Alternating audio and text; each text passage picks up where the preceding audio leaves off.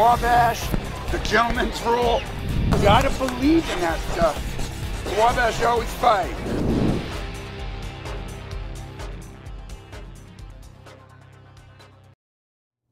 Good afternoon and welcome to the Don Morel Show, your chance to hear the thoughts and comments of the head football coach of the Little Giant program. And, coach, a special week. It's Monon Bell week. The, the big game is here.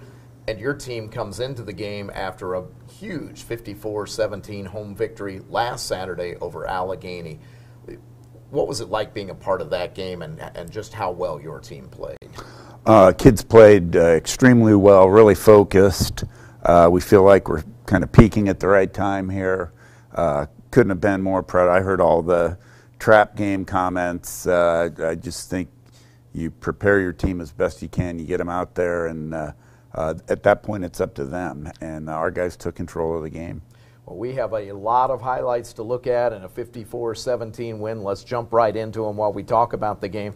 Uh, first of all, the, uh, the group that comes to mind, we, we talked uh, middle of the week when you were meeting with the offensive coaches.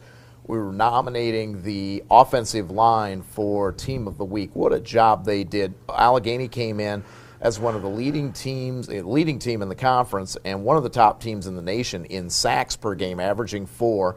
You gave up only one sack all game and over 500 yards of total offense. What a tremendous job that group did up front on Saturday. Really did. I think it starts Kyle McElty, uh, Russ Burning, uh, the, the two seniors.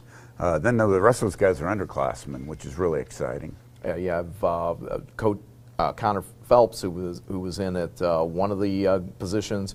Uh, Jake Slager's there as well. So just tre- tremendous job. Your tight ends don't get mentioned in the D3 football team of the week, but you rolled through a few guys in the tight end position. Were able to use them as blockers as well. Uh, we did. It was tricky too because Ivan Martinez was out. Uh, but no, we played Dane, the freshman, did a great job. Really uh, good group. Yep, Dane Smith, another yep. person we want to mention, and Nico Morris was one of the guys at that tight end position. You end up rushing for 426 yards a huge chunk of that came from Isaac Avant, who had another tremendous game, a career high 229 yards, rushing for three touchdowns, and seems to be his thing. Let's just rush for 98 yards on one carry for a touchdown. He just broke through a tremendous hole by that offensive line, and then nobody was going to catch him. Really, a special athlete. Uh, he plays like he practices 100 miles an hour, competitive team guy. He also plays wide receiver for us. We asked him to return kickoffs. Uh, he's a consummate football player. Isaac wasn't the only guy. I mean, he had a tremendous game again, but he wasn't the only guy that really benefited from the play of the offensive line and had some good hard runs. Michael Walker gets into the game uh, to back up Isaac, and he gets a 58 yard carry on his first rush, ends up scoring. Uh, later in the game on a one yard touchdown for his first career touchdown. And then Mason Durrett got in the game. He had a 42 yard run as part of his 10 carries for 83 yards. Tanner Skeel had another good run for 22 yards. He got into the end zone. So, really, just a tremendous effort by your rushing attack all game long. I think it was. And uh, again, it starts with that offensive line. Well, and it wasn't just the run game that was working uh, for you offensively on Saturday. Jake Reed was 9 of 13 passing for 164 yards. He threw three touchdowns probably none prettier all season than the touchdown pass he threw to Rashawn Jones, a 36 yard pass that he dropped into the back of the end zone. Rashawn with a tremendous catch, one of two touchdown receptions for Rashawn on the game. He just continues to develop as a great speed receiver, but really good hands and a good route runner as well. Just great kid, and uh, you know he's very young. He's a he's a 20 year old junior in college. Um, but uh, he's got uh, tremendous upside as he develops and grows. Isaac Avant finished with 284 yards of all purpose yardage uh, because he was your leading receiver on the day with three catches for 56 yards. What does he bring as a weapon in the passing game? You've had him out the, as a slot receiver uh, when you've had other running backs in the backfield, so he really gives you multiple dimensions on offense. He, he does, and I think one of the great things about coaching at Wabash is the kids are bright and they can handle uh, several different positions. P- Panola's the the record holder right now with about six, but uh, uh, it's fun to coach these guys, and they're they're limited to nothing. Here we see Isaac go for uh, his second 98-yard touchdown run of the season. Had one earlier against Kenyon. Uh, Clyde Morgan, who coaches Isaac in track and field in the spring, called me earlier this week, wanted to know, wondered if any player had ever gone for two 98, 99 yard rushes in a season. Still trying to find that with the NCAA, but Isaac just continues to excite the crowd with these big plays. Uh, we mentioned some other guys in the receiving game. Oliver Page with two catches for 16 yards. Ryan Thomas had a 31 yard touchdown reception on a great route where he sealed off the defender. Reed did a perfect job of hitting him with the pass, and it was an easy touchdown. Matt Panola with one reception for 17 yards. Defensively, you were really, you know, Allegheny came down, got a, uh, got a touchdown on its opening drive, and then the defense really just shut things down from there. Uh, great job by the defensive backs again uh, with Pat Kelly, a, an interception, a 66 yard return to set up a touchdown. Uh, you had two interceptions on the day as Brock Heffron got an INT as well, his first of the season. But you really made things uncomfortable, it seemed, for the Allegheny offense all game long. How were you able to do that defensively? Well, uh, hired Jeff Ramsey to be the coach on uh, defense. Jeff Ramsey again, Jeff Franklin, Joe Reardon, Brian Watson. They've done a super job of uh, where we have the ability to give multiple looks with uh, uh, the smart kids we have here. That secondary is bright, um, and uh, it it makes coaching fun. It really does. Um, but you, you got to credit those guys. Then up front, Blair Brody, Don Shook. Uh, Lucas Pacina had pressure. You know, we rushed three guys all game, but we seemed to get really good pressure on the quarterback.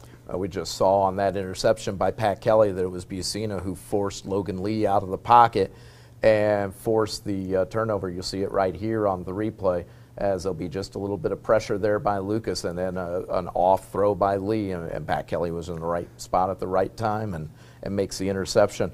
Uh, a pretty good day, except for a couple of missed extra points, but a pretty good day special teams as well. Uh, Joey Ane just continues to really perform well uh, as your punter. What has he brought to the special teams well, in the last two weeks? Uh, he was a special team player of the week. He has the ability to flip the field with one kick. Um, just uh, it's a great weapon to have. We don't feel like we've uh, had that since probably Cam Sobleski, a guy that can really uh, bang it. Uh, I was disappointed again with the. We've struggled with extra points all year. Uh, it's been a weird year uh, enough, but we feel like we've got a handle on that for the Bell game. You hold Allegheny to 122 yards of rushing in 32 attempts. They did get a couple of rushing touchdowns, but you second week in a row you faced some really good wide receivers who are quick and elusive. you had Jeff Tiffner from Wittenberg two weeks ago. It was Alex Victor for Allegheny and Alex got one big catch late in the game when it was when mm-hmm. the final had already been determined. Uh, and ended up leading to a touchdown. But you really kept him under control all game long. You know, I think this started last year when we had a few games. One was Allegheny, where we we didn't play well in the secondary, and uh, Jeff Franklin, our secondary coach, has tremendous pride and uh, has done a phenomenal job this year with those guys. As you'll see here in a few minutes, just a couple more scores to go through, but uh, it was a 54 17 victory, and we'll, we'll continue to watch the end of these highlights. As we mentioned, a lot of them to show you. I want to make sure we, we get the guys like Michael Walker, who just scored his first career touchdown on that replay. Um, show you Tanner Skeel's touchdown here in a minute. But now the attention focuses to the big game this week, the 125th Monon Bell Classic. It's presented by the Cancer Treatment Centers of America and Mr. Richard and Dr. Stacy Stevenson. Is this kind of a thank goodness this game is finally here? You've seen all the build up, literally and figuratively, with the build up of the stands, the wrap coming on. So, so your focus really as a player can't be too far away from it the last couple of weeks. Now it's what you really get to focus on. You really get to pay attention. You hear the bell every day at practice is it kind of a relief that this week is here? Uh, I, th- I, think it is to some extent. This team has done a great job of uh, focusing, playing one game at a time, uh, not looking ahead to any game. Uh, we're not good enough to do that.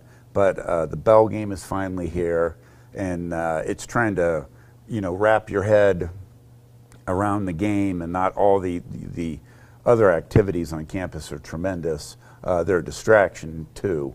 Um, but I think our guys are going to do a good job with that. We had the uh, TV preparation interviews earlier this afternoon. One of the questions you were asked with the victory last year down at DePauw, was that something that just carries with you throughout the year and it's a celebration and they're building statues and everything else? You had an interesting answer to that. I mean, really, it lasts what about two weeks? You said, about, and then it goes, and then you're off to the next part of the season. it lasts about two weeks, and then you know uh, is going to take their very, very best swing, just like we are, uh, to win to win the bell. So yeah, it's a short-lived celebration. I think for the kids on our team uh, and certainly the coach. I think uh, you know our alums get to brag about it for a year, which is fantastic. Um, but uh, the DePauw Tigers are a very capable team. Uh, defensively, they I felt like they took it to us last year and it's uh, the same group of kids. Zach Williams is back at linebacker, um, for instance, and uh, uh, I mean, they are good. Uh, their record is uh, four and five. Uh, I would not be fooled by that. They are going to come in and try and I think save their season by winning the the bell.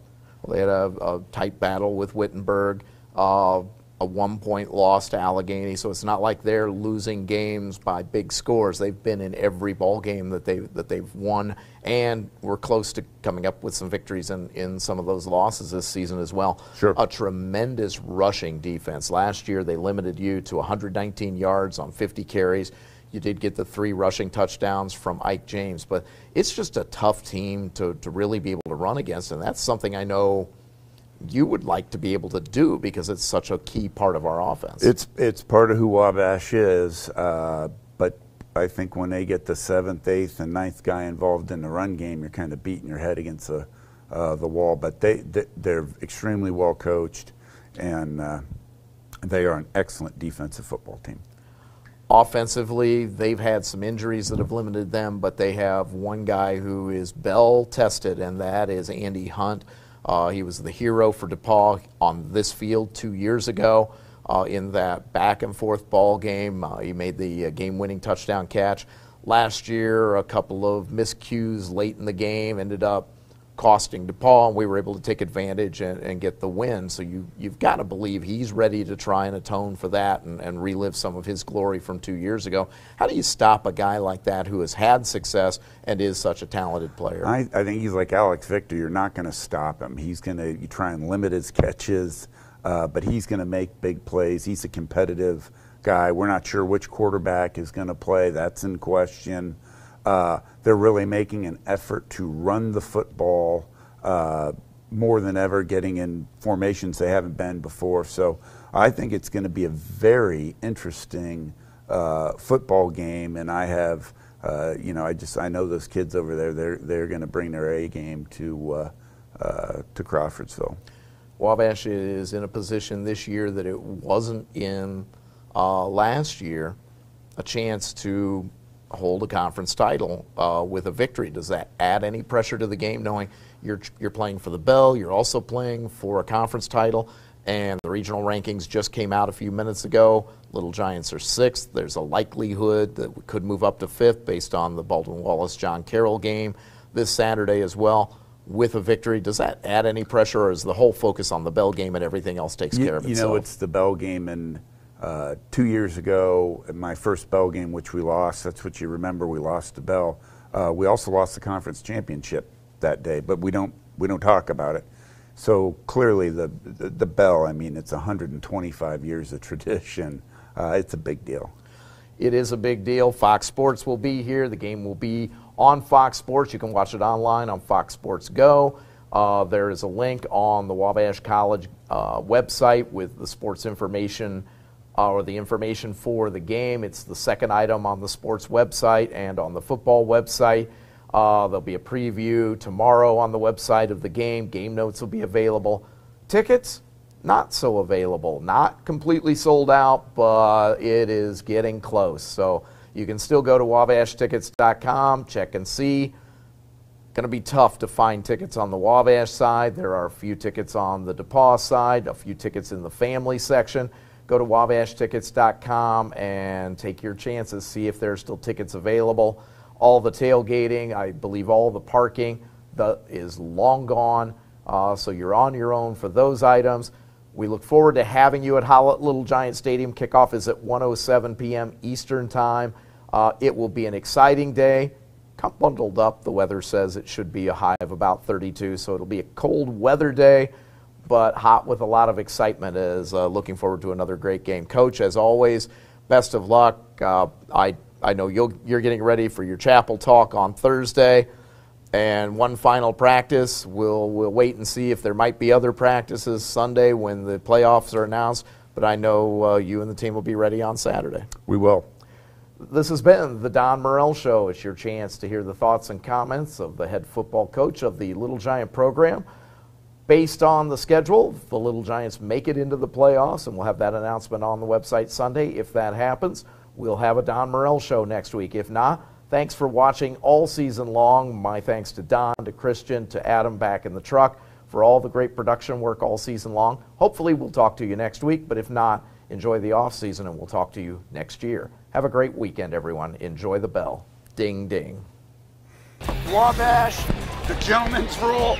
You gotta believe in that stuff. Wabash always fight.